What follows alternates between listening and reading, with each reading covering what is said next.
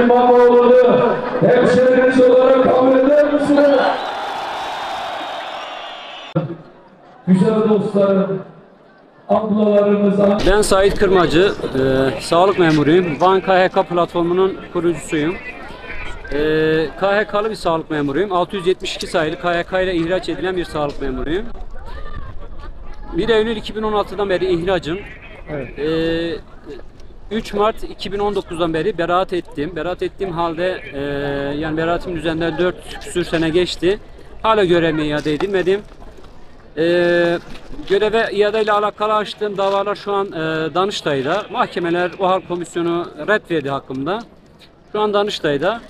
Bizim e, davalarımız tamamen e, yani siyasi davalar, yargıyla alakalı olmayan davalar. Çünkü herhangi bir suç isnat edilmiyor. Tamamen e, siyasetin e, şefkatine, merhametine bırakıldık biz KYK'lılar. O yüzden ben kendi şahsım adına diyorum ki artık e, bu iktidarın değişmesi gerekiyor. Yeni bir iktidarın e, gelmesi gerekiyor. Biz KYK'lıları ancak yeni bir iktidar anlayabilir. Bizi ihraç eden, bizi işimizden gücümüzden e, bir gecede atan iktidar maalesef emek sömürüsü yapıyor.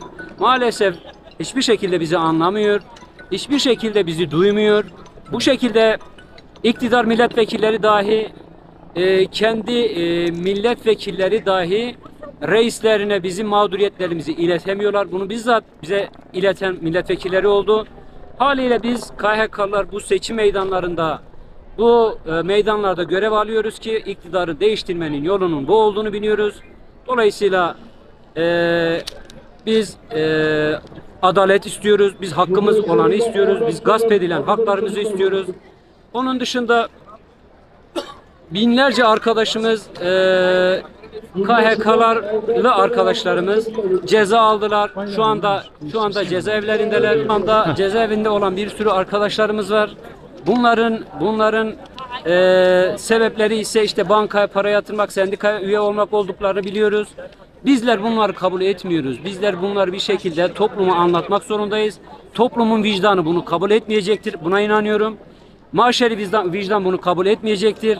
İnanıyorum ki e, yeni bir iktidarla, yeni bir siyasi iktidarla bu problemlerimiz kökünden çözülecek. KHK'lar çöp olacak. KHK'lar hukuk devletinde bir hukuk utancıdır. O yüzden KHK 100 yılın utancıdır. Pankarta as- astık biz.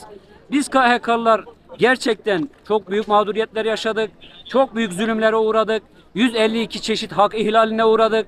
Biz bunları bangır bangır sosyal medyada dile getiriyoruz. Ama alanlarda kimse bizi duymuyor. Ama siyasette bizi kimse duymuyor. Ama meydanlarda bizi kimse duymuyor.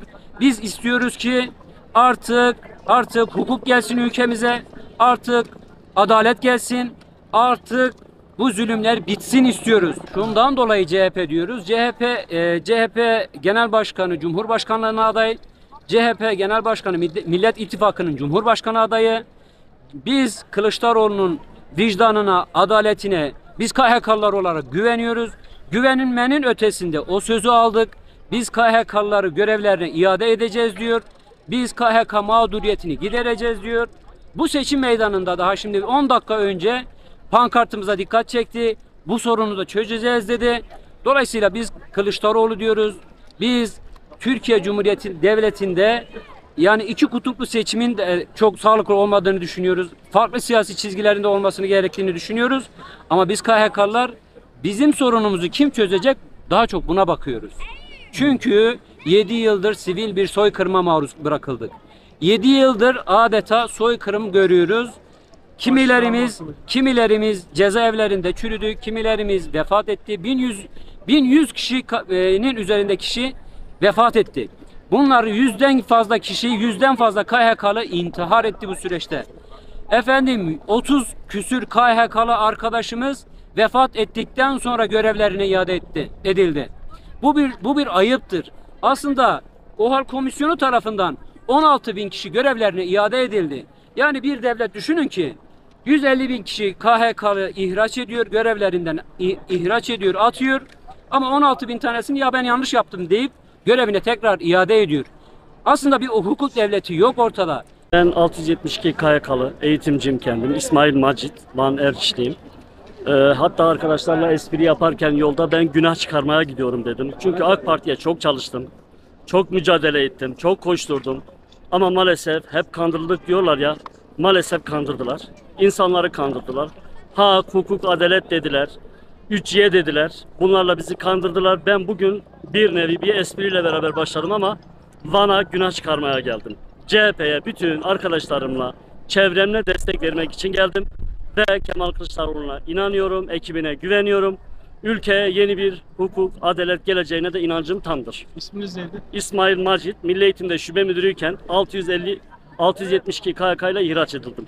Şit Bozkurt, ben Vedaş İl Müdürlüğü'nde teknisyen elektrikçi olarak çalışıyordum. 2018 senesinde işten KK ile atıldım. Kanun hükmünde kararname diye bir kanun çıkarıyorlar. Yani bu kanun aslında kendine kendi işine gelinen bir kanun demektir. Yani kanun hükmünde kanun, geçici bir kanundur. Biz de bu geçici kanunun kaldırılmasını istiyoruz. Biz geçici değiliz, biz sürekliyiz. Biz sürekli beraber yaşamak istiyoruz. Madem ki yüzyıla girmişiz, bir yüzyıl daha birlikte yaşayalım diyoruz. Sadece yüzyıl değil, bir yüzyıl daha birlikte yaşayalım diyoruz. İttifak kuruldu. Bu ittifakı hepsi bir ittifak olarak AKP'ye karşı oylarımızı birleştirip güç olup bu iktidarı iktidardan indirip yerine Kılıçdaroğlu'nu koyup adaleti, hakkı, hukuku, eşitliği, özgürlüğü Selahattin Demirtaş'a özgürlüğü getirmesi için